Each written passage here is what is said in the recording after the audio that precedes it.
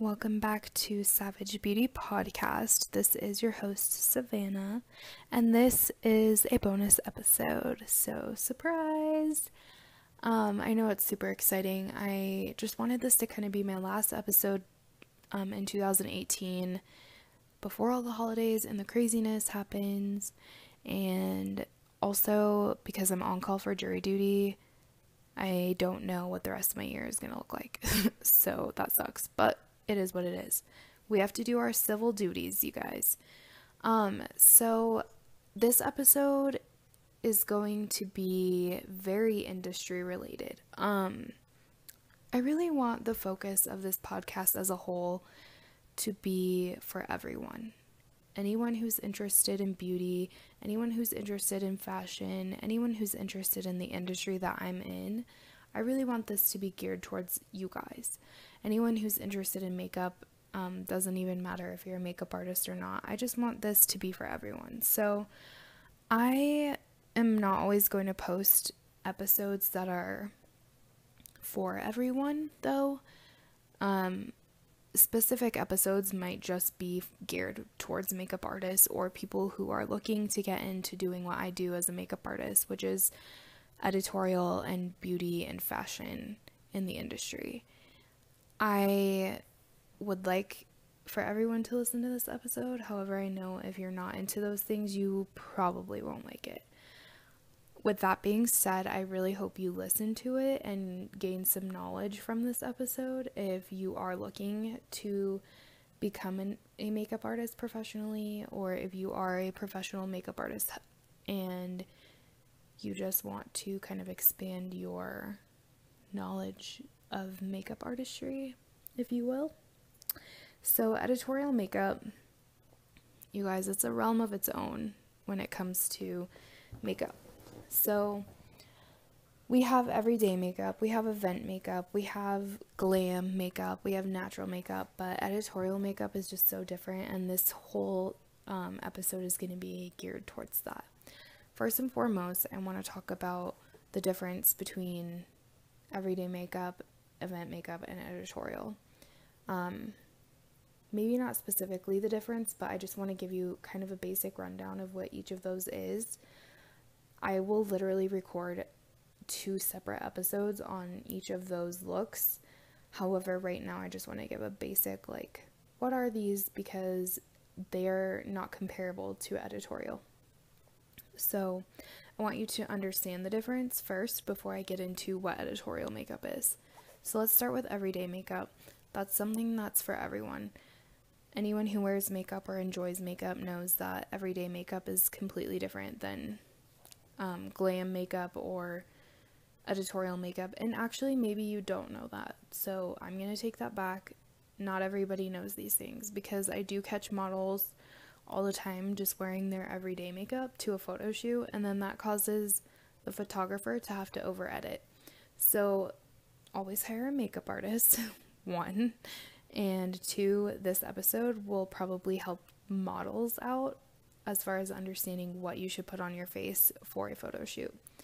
Um, anyways, so everyday makeup is makeup that you wear every day. Very self explanatory.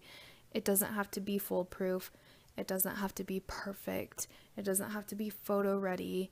It can just be some tinted moisturizer, highlighter, maybe concealer if you want concealer, and some brows and mascara. Like super simple. Doesn't need much effort. Um, doesn't need to take you an hour to two hours to do. And it's just something for everyone. Everyday makeup can also be full glam. It's totally up to you, however, you want to wear your makeup. Um, everyday makeup can be uh, drugstore makeup, it can be high end makeup, it can be, you know, like I said, tinted moisturizers, it can be uh, foundations with SPF in them. A lot of people don't know this, but SPF does contain titanium dioxide and zinc oxide, which often causes flashback in photos. Um, and that's not something you have to worry about on a day to day basis with everyday makeup because you're not under professional lighting and getting professional photos taken when you're wearing everyday makeup, or you shouldn't be at least.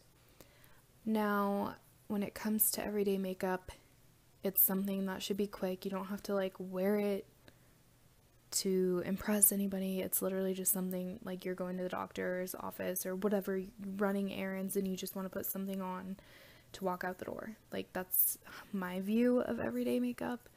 Um, of course, if you're going to work and you work somewhere that needs a little more than just a few things on your face, then obviously your everyday makeup is going to be different from somebody else's, like a stay at home mom. So, there's that. We'll get into all of that in a different episode, but that's everyday makeup basic um, knowledge.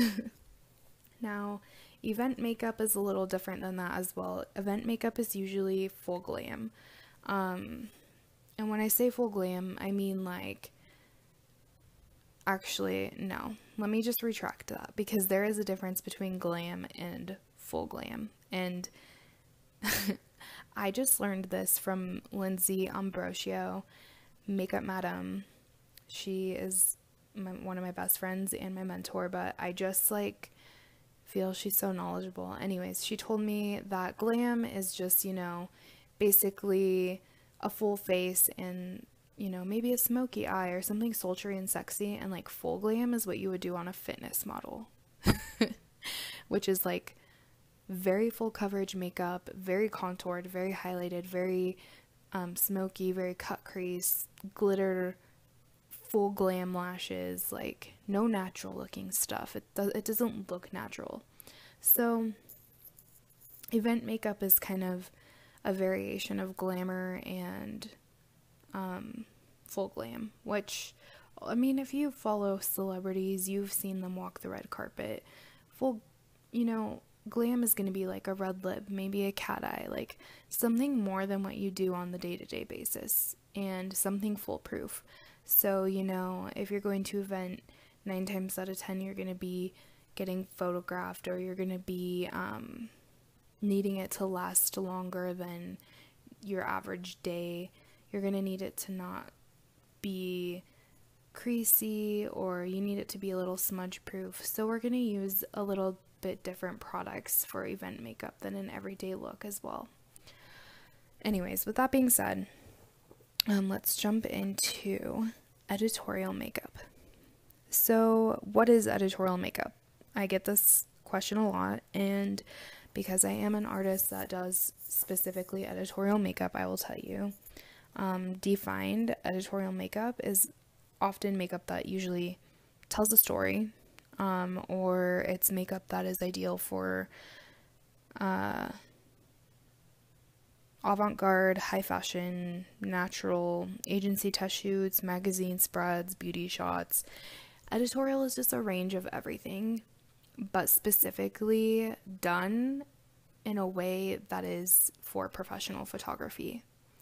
So, editorial makeup could look like everyday makeup, it could look like a natural everyday wear. However, the products that I'm using are completely different than the products that I'm using every day. Does that make sense? I really hope it does. So,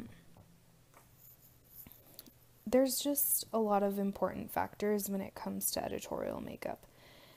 I'm going to say this first and foremost skin is key. Skin is a huge factor when it comes to editorial makeup nine times out of ten, photographers don't want to have to retouch the model's skin other than like getting rid of a few blemishes or like some crease under their eye because let's be honest not everybody's perfect and sometimes we have creasing and you know makeup isn't always going to get rid of your wrinkles and your fine lines okay if anything, it's going to make them more prominent.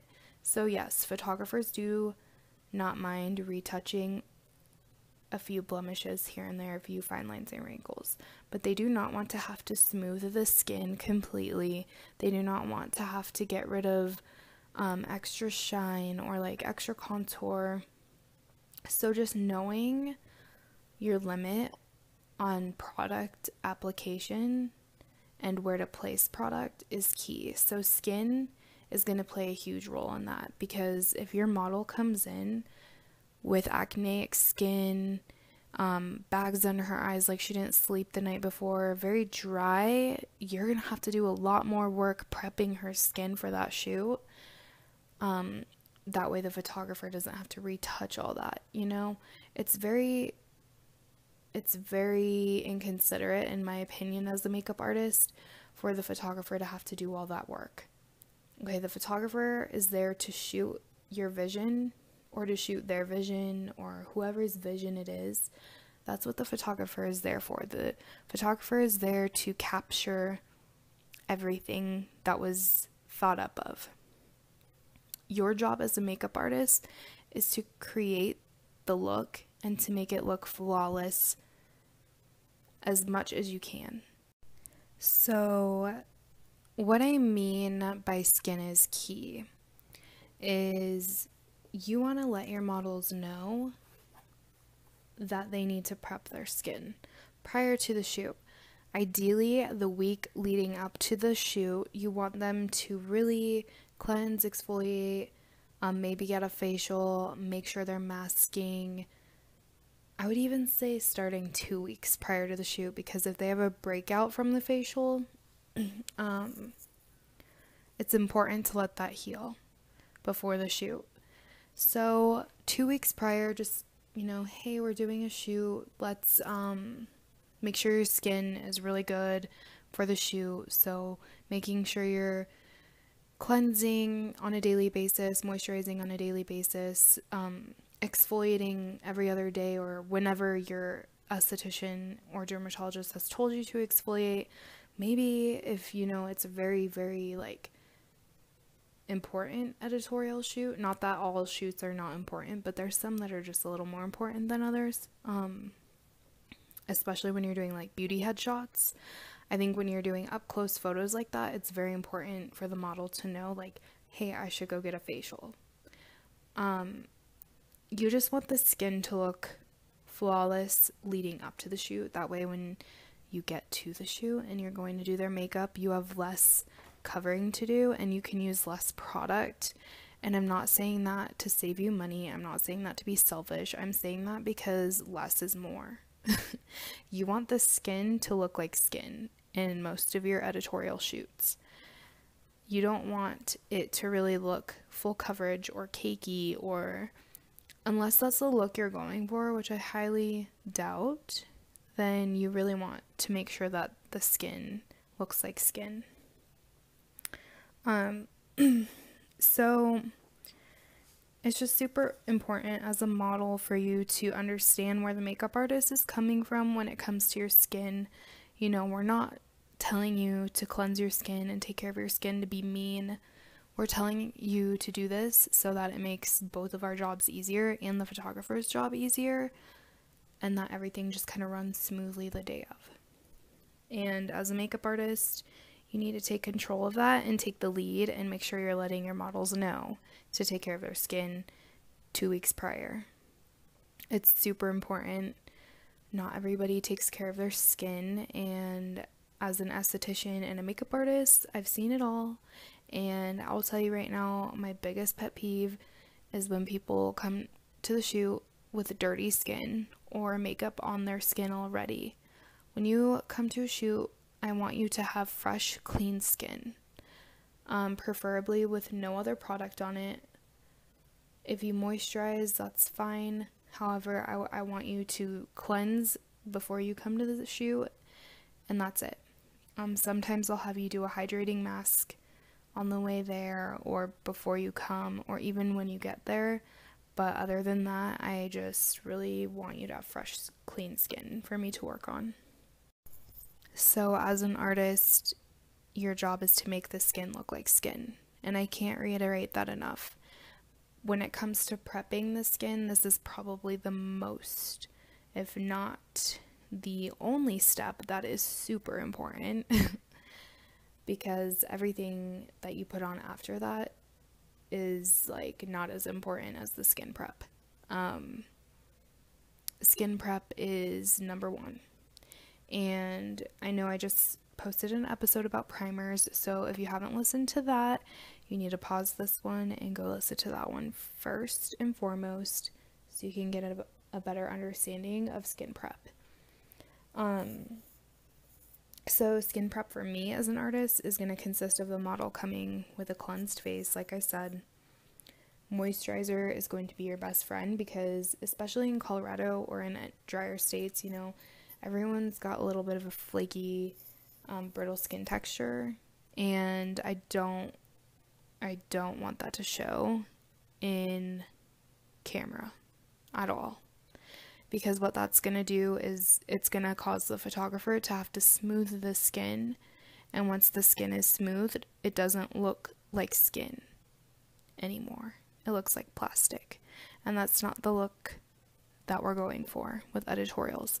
Unless you're specifically doing a shoot where you want the skin to look like plastic then girl you better come up with a different way because skin smoothing just looks unnatural so, moisturizer is going to be your best friend. Any moisturizer that is good for all skin types is what you're going to want in your kit. Um, I use the Cetaphil Daily Sensitive um, moisturizer. I get the travel size because it fits perfectly in my kit and also because I only use a little dot of it every time. I don't over moisturize um, because I, I use a lot of hydrating products on the skin prior to the foundation. So, moisturizer and then hydrating sprays are going to be really good. Illuminating sprays are going to be really good. So, you know, e.l.f. has illuminating mists. Um, you're going to want hydrating mists, rose water, anything with green tea to awaken the skin. Um, Mario Badescu has really great prep sprays and toning sprays. You're just going to want to load up on those. And you're going to want to spray them all on the face. Like, I don't even care how many sprays you do on the face of this, but I want the skin to be as hydrated as possible, as plump as possible. I have invested in a nano mister. This is like my secret weapon and I will load it with distilled water and prep spray or oil. And the reason I do this is to mist the skin and hydrate the skin, but also I can use it throughout the whole entire makeup application and it doesn't ruin the makeup and it allows the skin to be plump and full and rejuvenated and very glowy and dewy and hydrated that is my secret weapon and that is my top secret weapon. So if you listen to my podcast, you can go get a nano mister on Amazon for like 20 bucks and there you go. Don't tell anyone else. So those are going to be your secret weapons. The hydrating sprays, the rose water, the nano mister. And then you're going to want to do a mattifying primer, a pore filling primer, and honestly, just maybe a little bit of illuminating primer on the center of the forehead. Um, if they're dry or anywhere that they're dry, do a hydrating primer. So, pore filling primer is going to go in those spots that we talked about in the previous episode. And if you didn't listen to it, like I said, pause this episode and go listen um, so you know what I'm talking about. So, pore filler, mattifying primer, and then the illuminating primer as a spot treatment only because you are already putting so much hydration and moisture onto the skin. And if they're oily skin and they have acne prone skin, you don't want to really overhydrate. So, um, just keeping it at a minimum, but also doing the most. So, con- contradicting yourself, like life itself. Um, and then maybe doing some color correcting. If they have a little redness to the skin, make sure you put those greens on there and really spot treat this because color correcting you don't want to do all over. Um, if they have a little bit of darkness under the eyes, making sure you put those peach or yellow tones under there to really conceal. It's going to help conceal. It's also going to help just create an even tone on the skin. You just really need the skin to be perfect before you apply foundation. So, doing whatever it, it takes to do that is what you need to do. So, follow my steps there, doing the prep. It's super important. Again, you want the skin to look like skin. We don't want the skin to look like a Coca Cola glass bottle. It's no, that's not what we want. We want the skin to look like skin. so, I use for foundation, I use the Fenty Pro Filter foundation. I really, really love this foundation. Um, I used to use MAC Studio Fix. This is also a great foundation. It is super thick and heavy, so a lot of the time I find that I need to shear it down or do medium coverage when I use it, um, but I haven't used it in a really long time. So my go to is the Fenty Beauty Pro Filter Foundation. It is not for everyone to work with. If you don't know how to work with it, I suggest not using it. Um, it took me about this whole year since I purchased it to really figure out how it works. And um, when I start recording content for YouTube, I will kind of go through that because it is really hard to work with. And a little bit goes a long way, and it also dries super quickly. Also, if you have really dry skin, you don't want to use it unless you mix it with a moisturizer. So there's a few steps in there that, you know, I'm I'm not going to tell you everything in this episode, but um yeah, that's the foundation I use, but you can use whatever works for you as an artist and whatever you love to use as an artist. So, I'll use that Fenty Beauty Pro Filter foundation. Um and really the foundation application is going to depend on what look you're going for and what the model's skin looks like prior to foundation application.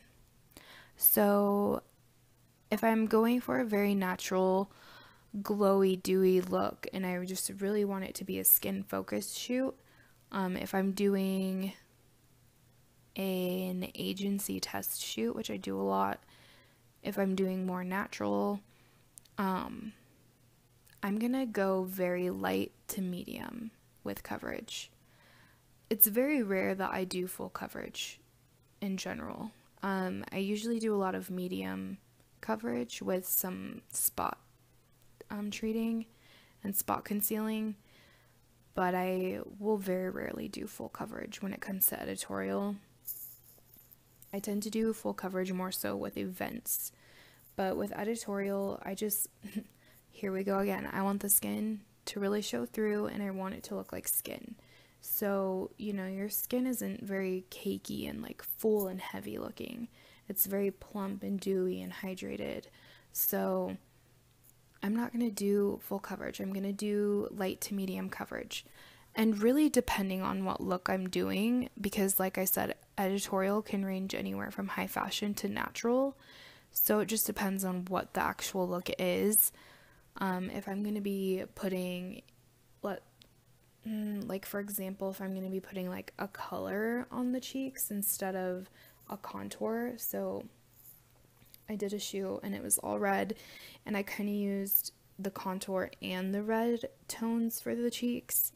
Um, I kind of didn't really place a lot of foundation on the outer edges of the skin. I really kind of focused the foundation more so on the inner part of the skin where it needed the most coverage. So I used a brush for that and then I took a beauty blender and kind of just like without any product blended the inner parts of the skin out. If that makes any sense to you. I know makeup artists this will make sense to you, but um the reason I did that is because I really wanted it to be medium coverage to sheer coverage. So I really wanted it to be medium where it needed coverage, like where there was blemishes, where there was dark circles, where I really needed to conceal, where there was redness, um, which was all really in the center of the face. Um, and then honestly, since I didn't want to use a whole lot of product on the outer edges of the face, I just kind of didn't want to add more product. So I just sheared out the product I had and kind of made it fade out to a softer coverage. Um, that's kind of just the look I tend to do when I don't want it to be heavy. So when you're doing foundation, you really don't want it to just sit on top of the skin. You really want it to melt into the skin or at least look like it's melted into the skin. So I've used a combo of um I just really used a combo of a brush and a beauty blender or a beauty sponge to really press the makeup into the skin. Um, I like this method a lot because, again, it makes the skin look like it's melted into the skin and then it creates that natural radiance in the skin that skin has and it really makes the skin look like skin. How many fucking times can I say skin in one sentence? Does anyone want to create a drinking game about it or like tally it up and let me know because I'm pretty sure it's been like 50 now. Anyways, back to the topic. So, when it comes to editorial makeup, I don't necessarily use a lot of product unless it's something that requires a lot of product like i'm doing a high fashion um, and it needs to be super mattified super contoured. When it comes to editorial like beauty headshots and i really want it to look like clean and blended and airbrushed um, I'll tend to use a little tiny bit of setting powder, and where I'm going to place the setting powder is specifically anywhere that needs to be set. So, like T zone, just very lightly, um, feathering it on with a small fluffy brush.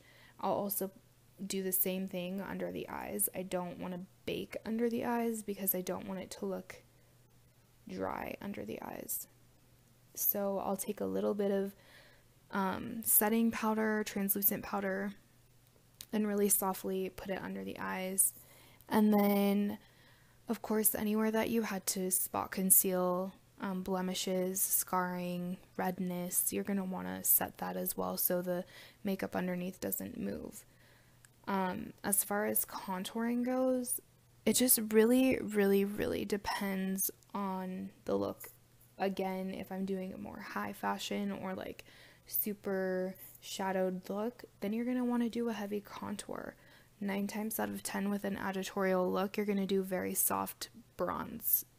You're not going to really contour a whole lot. Um, and when it comes to contour, again, I could create a whole episode, which I plan on doing. Um, it doesn't always have to be a cool tone. Contour is a shadow, so yes, a cool tone is ideal. However, sometimes a warm tone contour or a mauve tone contour is perfect. Art is whatever you make it to be. So if you want the look to be really warm, use a warm bronzing shade um, to do the contour, especially if you're doing a very soft look. When it comes to editorial, it's really what you guys create that and that's why I really love editorial makeup because it's whatever you want it to be. It doesn't have to be held to any certain standard. So that's the best part of editorial makeup. Now, I will say with editorial, you don't want it to be a very harsh contour. So you you just really want to make it look soft and airbrush looking. You don't want it to look sharp. So with that being said, um, I'll do the contour, make it look really blended out, really, really airbrushed into the skin, melted in the skin. I'll take my my contour brush and I'll blend it out that way. And then I'll also take the beauty blender and kind of blend on top of it without adding any new product. And that just really presses it into the skin as well, which is amazing. And then you're going to want to do a little bit of blush if that's the look you're going for. A little bit of blush goes a long way. My favorite um, contour lately to use is actually a bronzer by Marc Jacobs. It's that giant Omega bronzer, the Tantastic color. Oh my god. I am in love with this bronzer. You get so much product and a little bit goes a long way and it just looks super pretty on the skin, on everyone's skin. No matter what tone or type.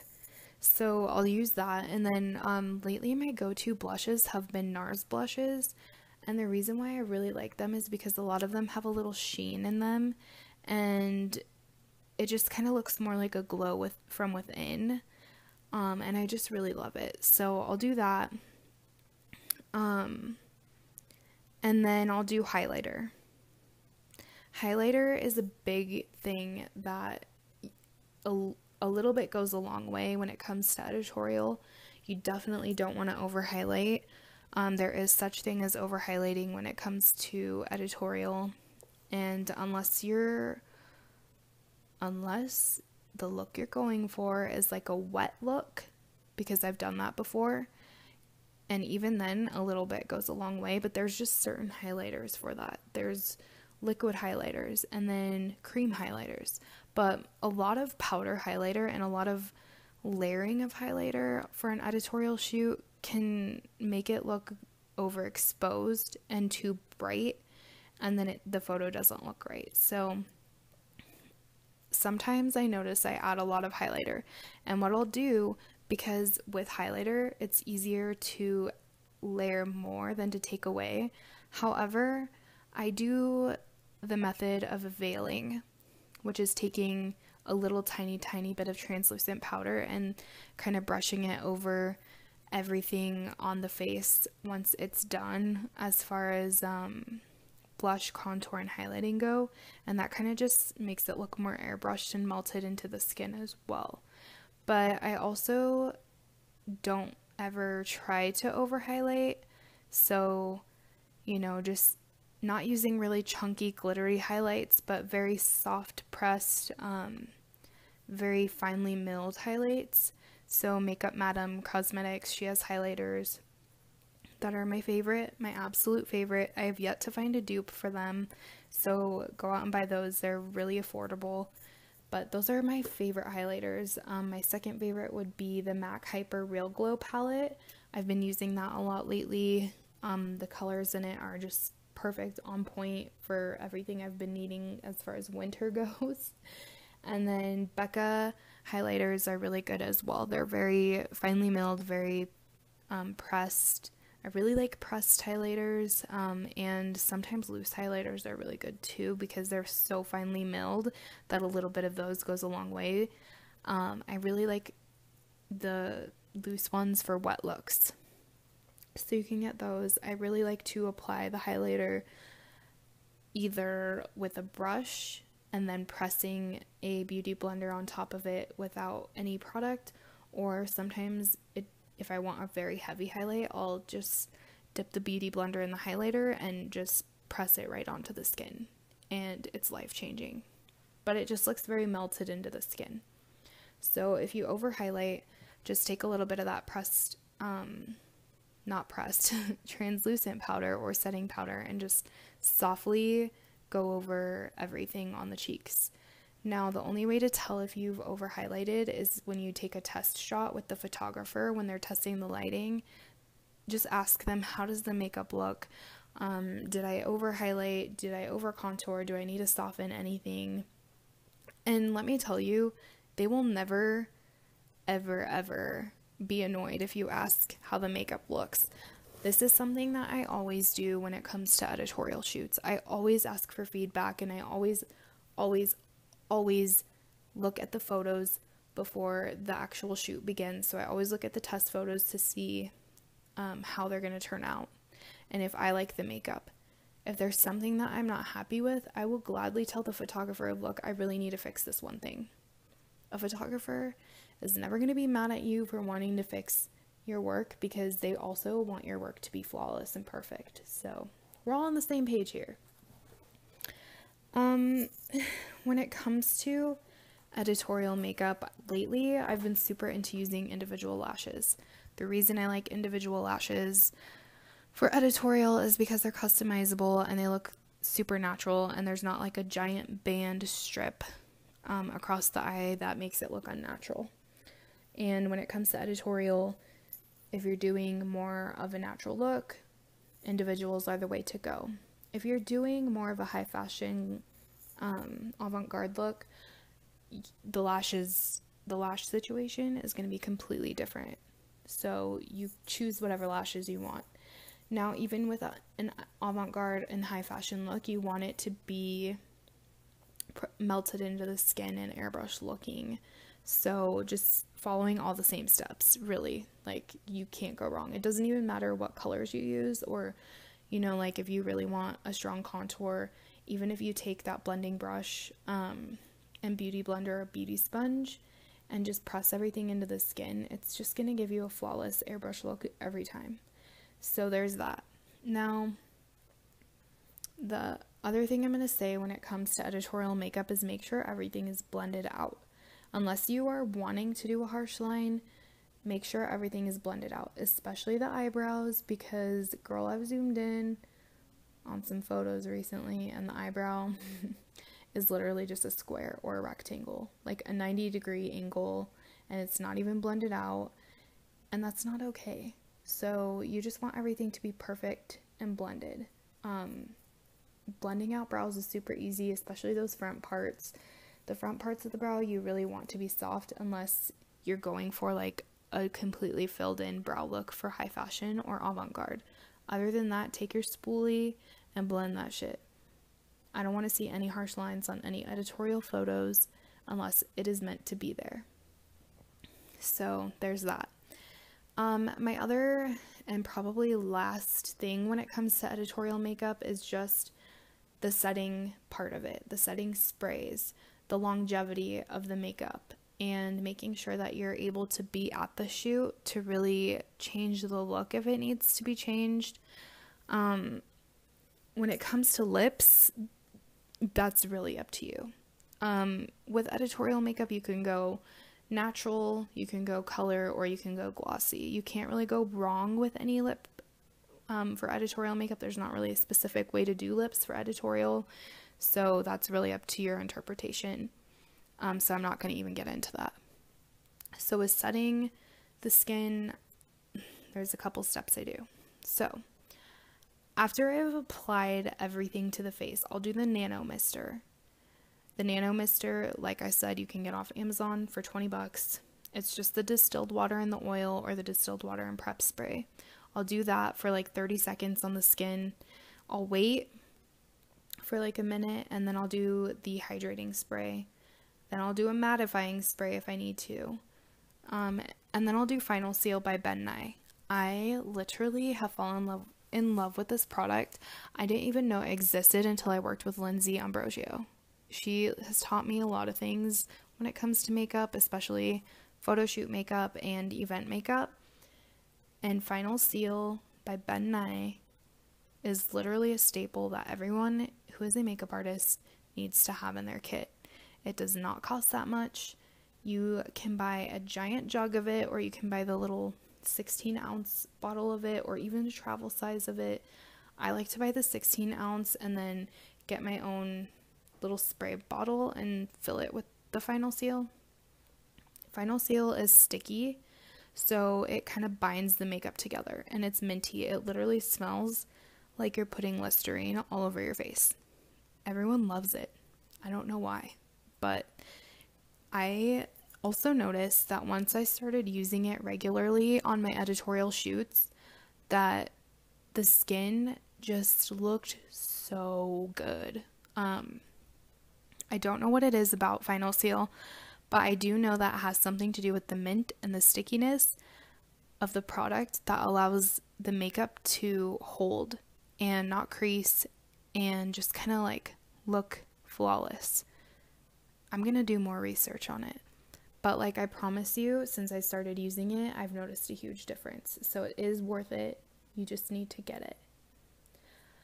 Well, that's everything I have for you with editorial makeup for now. Um, I could really talk about editorial shoots forever. However, I just wanted you guys to understand the basics of it. Editorial makeup is really whatever you want it to be as long as you follow a few steps that are huge.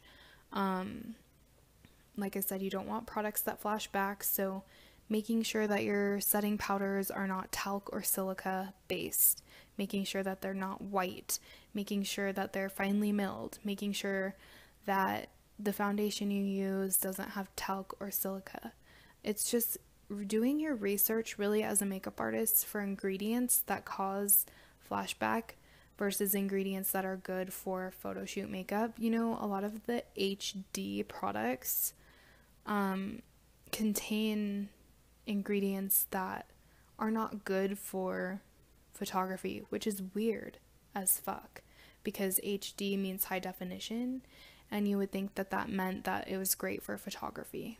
But um I just find that blurring products, pore filling products, hydrating products, those are the things that are really good for editorial.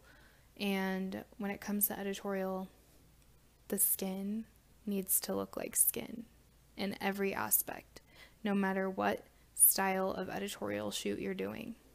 Whether it's beauty, whether it's high fashion, whether it's avant garde, whether it's a natural look, whether it's a an agency test shoot, it just really needs to look like skin. So, understanding the basics of editorial is going to allow you to go above and beyond and really expand on that. Rules are made to be broken, but there are a few that definitely, definitely need to be followed when it comes to makeup.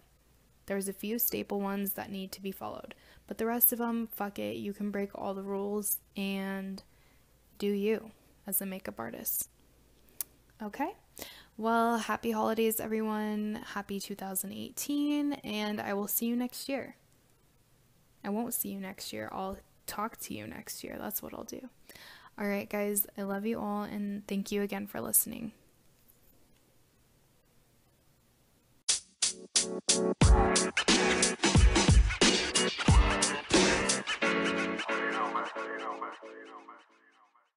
The podcast you just heard was made using Anchor. Ever thought about making your own podcast? Anchor makes it really easy for anyone to get started. It's a one stop shop for recording, hosting, and distributing podcasts. Best of all, it's 100% free. Sign up now at anchor.fm slash new. That's anchor.fm slash new to get started.